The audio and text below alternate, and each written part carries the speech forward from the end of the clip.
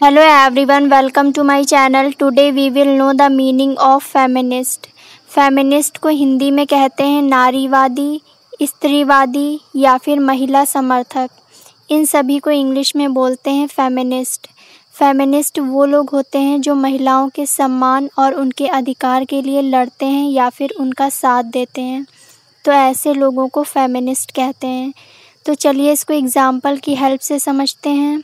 Example है feminist people fight for equality and rights इस sentence में फेमिनिस्ट का मतलब है नारीवादी पीपल का मतलब है लोग फाइट का मतलब है लड़ते हैं फॉर का मतलब है के लिए इक्वालिटी का मतलब है समानता एंड का मतलब है और राइट्स का मतलब है अधिकार। तो इस पूरे सेंटेंस का मतलब हो जाएगा, नारीवादी लोग समानता और अधिकार के लिए लड़ते हैं।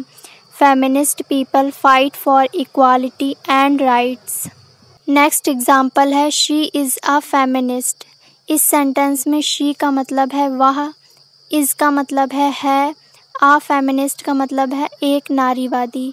तो इस पूरे सेंटेंस का मतलब हो जाएगा, वह एक नारीवादी है। She is a feminist so that's all for today. Thanks for watching